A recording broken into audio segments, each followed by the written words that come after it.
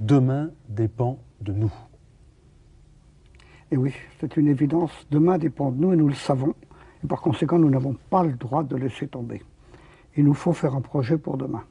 Il ne s'agit pas de prévoir ce qui sera, mais il s'agit de faire en fait le prophète. Le prophète ne disait pas voilà ce qui va arriver. Il disait faites attention, si vous continuez dans telle direction, ça va mal tourner.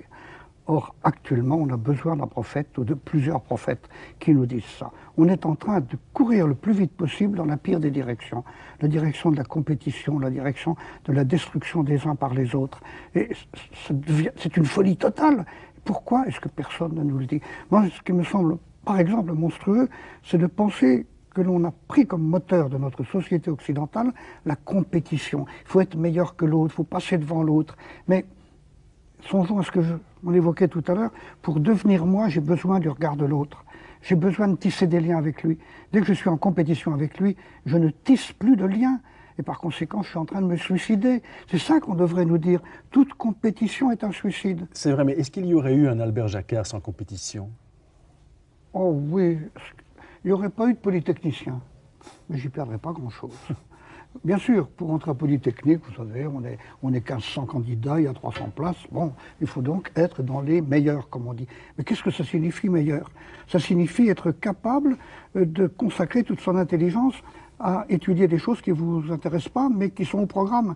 Et par conséquent, c'est faire vraiment acte de soumission, c'est faire preuve de conformisme. Et actuellement, le système des grandes écoles, le système de la compétition, ne fait que sélectionner les plus conformes. Or, on a besoin d'un on entre dans un monde qui va se renouveler, et plus on est conformiste, plus on est dangereux. Par conséquent, on est en train de sélectionner les gens les plus dangereux, ceux qui ne seront pas capables d'imagination.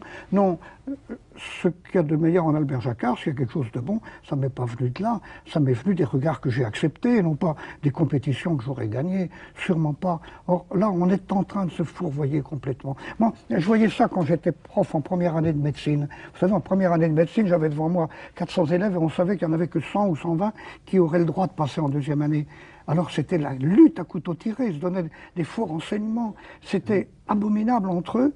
On était en train d'en faire des tueurs. Eh bien, préparer des futurs médecins en leur donnant une mentalité de tueur, il y a quelque chose de pourri là-dedans. Non, c'est pas sérieux.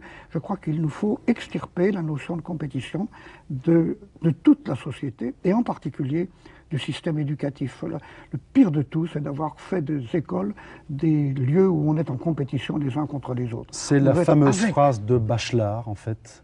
La fameuse phrase de Bachelard que j'ai répétée à plusieurs reprises. Il faut mettre la société au service de l'école et pas l'école au service de la société.